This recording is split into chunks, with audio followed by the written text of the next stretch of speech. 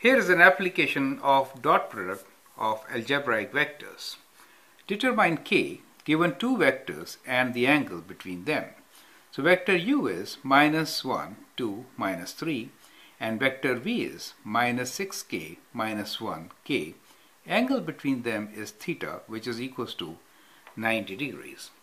Now to find the value of k, what we can do is we can find dot product and equate them so we can find dot product in two different ways, right? One is like u dot v equals to magnitude of u times magnitude of v times cos theta, right?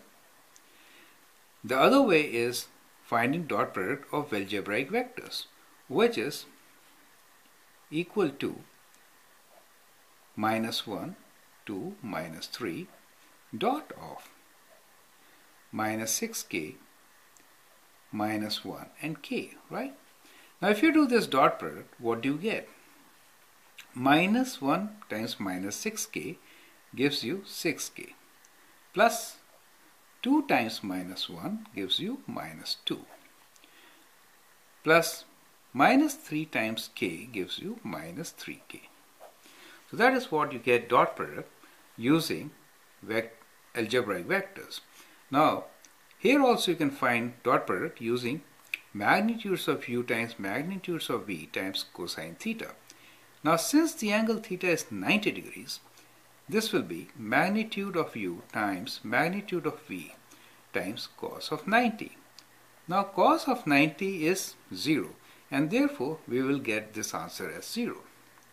Now, both the dot products should be same, right? This is also dot product of u and v.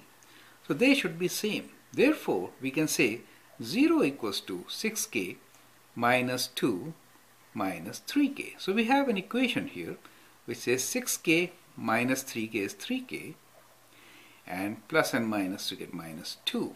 Or we can rearrange and get our answer which is k is equals to 2 over 3, right? So that gives you the value of k, correct?